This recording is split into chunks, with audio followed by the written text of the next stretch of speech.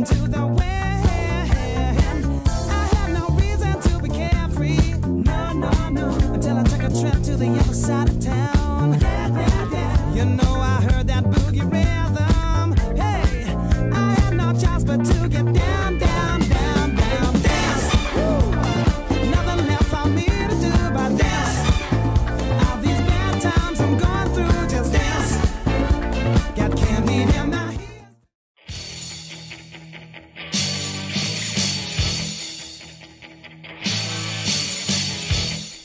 inspired you to make the upcycle program?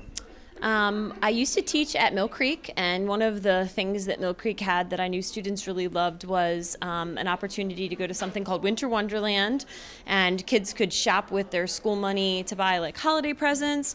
And then here at Patuxent, I thought maybe like a different, more mature spin was kids often like to go to the thrift shop. I know I certainly like to thrift as, as an adult, and I thought it might be fun to use their prowl tickets or their school money in a similar sort of way. They could buy something for themselves, or they could buy something for their family members, which just happens to be now the holiday season. Um, and so that's where the inspiration for me came from. Um, for my part, it's the clothes. And over the summer, I was just going through a bunch of clothes. We had some great things that had barely been worn, they still had tags. And I thought, I don't want to just drop them off at one of those bins in the parking lot. I wanted to be able to be more impactful. And I thought about bringing them here to school and having them available. And then that just spiraled into you know, posting it on social media and picking up um, some donations throughout the community. And it became bigger and better than actually my original thought had even been. So it really spiraled off. It was great. How did you go about getting clothes for the program?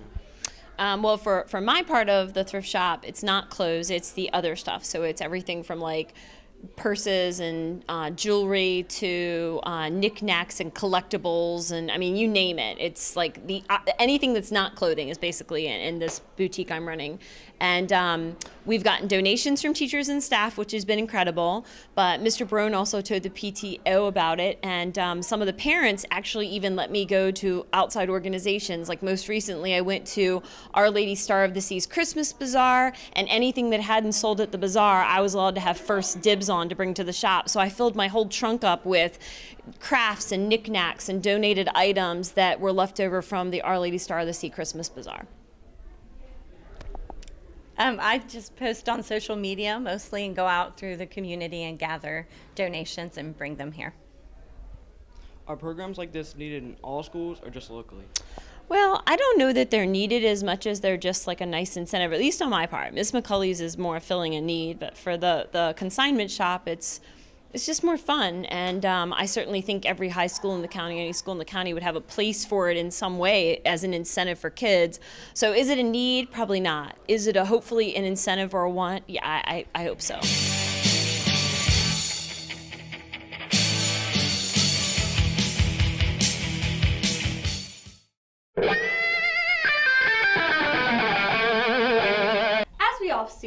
Been construction going on in the second floor roundabout, and as of recently, there's finished floors now. Woo!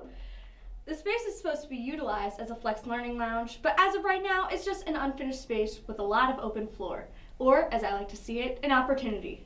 There's just so much room for activities out there. Like, who doesn't love activities? I mean, like, I can tell there's enough space for me to do a full cartwheel out there, and that makes me excited.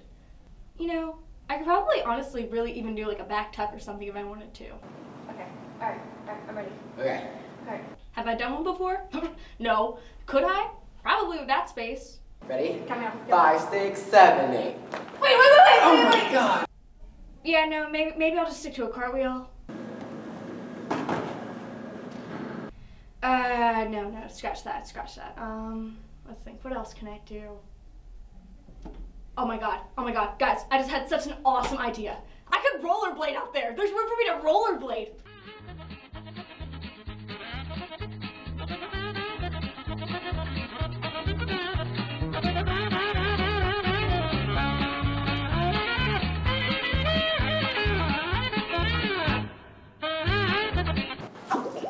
Oh.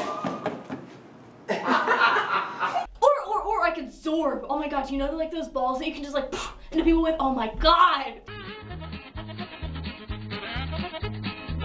Okay, but like I feel when it's like super super quiet out there, it's like such a relaxing space just to like sit and do work. Like I could like sit out there peacefully and do work.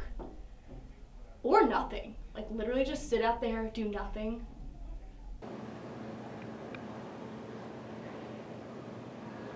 There's just so much room for opportunity.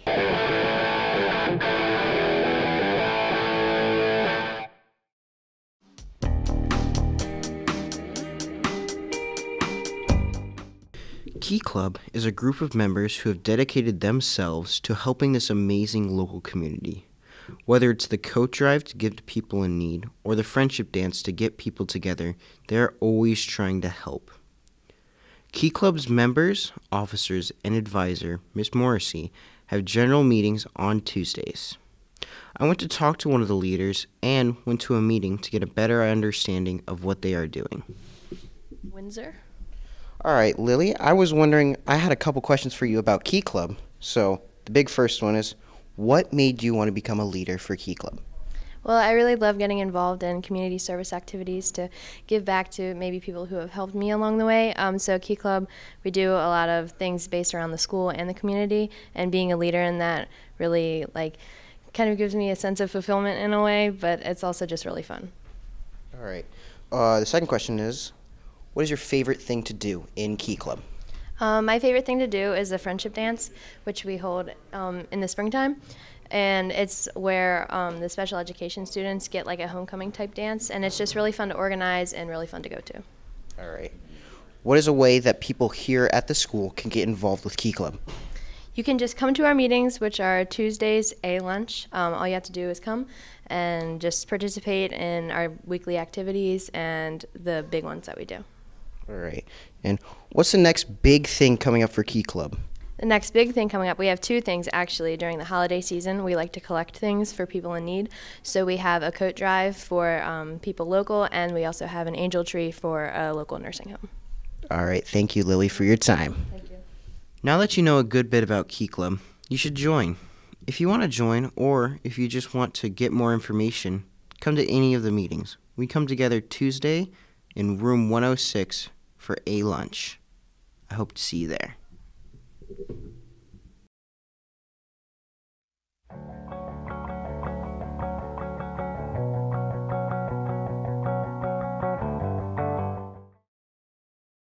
How long have you been teaching?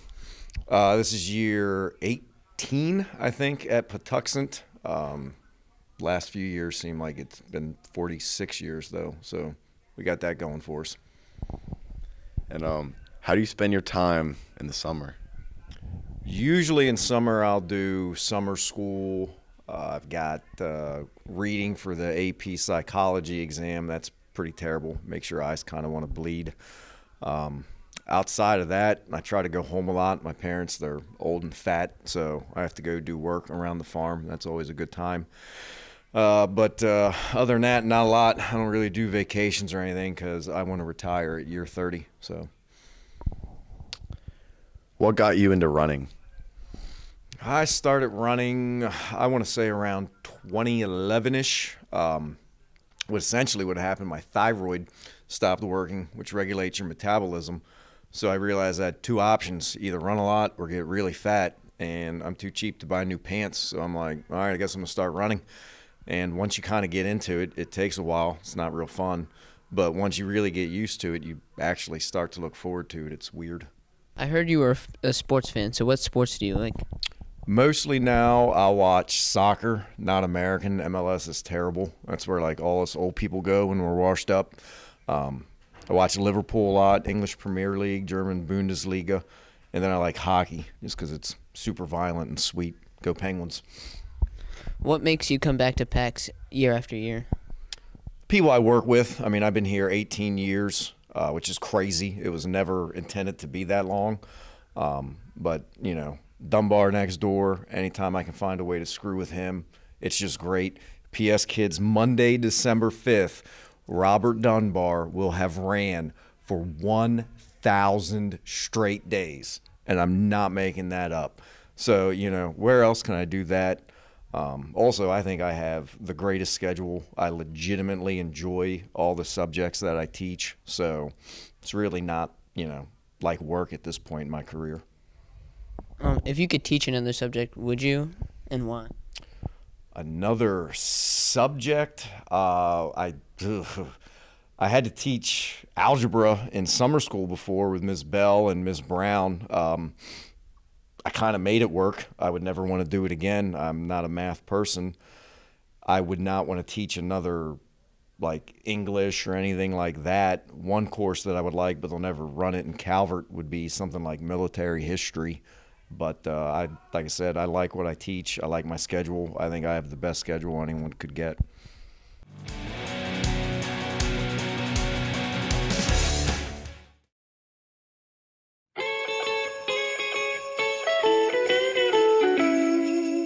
Since Thanksgiving is finally past, we can start moving on into the holiday spirit, celebrating whatever you celebrate Christmas, Hanukkah, Kwanzaa, whatever gets you in the mood.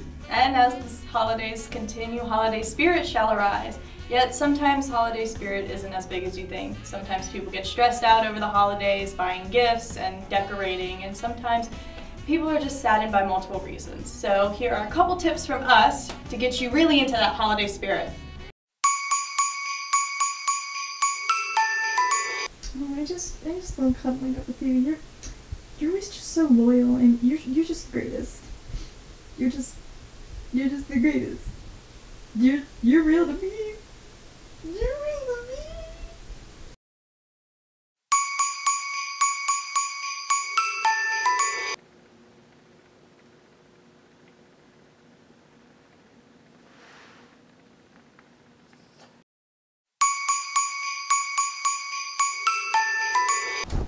Wow, I can't believe I just found like all of those deals. That was great. I bought like 30 things. Let me just let me just check my bank account real quick. I just want to make sure that's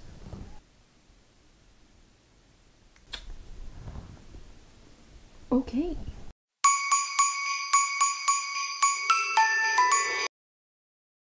Next up on 297583. Coming up, your favorite Christmas song for all my lovers out there. Lovers, really? I am not a lover. I don't even want to hear this song anymore. I'm so over the friggin'. Oh my god. No, skip. Skip. Why aren't you skipping? What? We're good? Okay, we're good. You can't escape me, Savannah. What? What? No, no, no,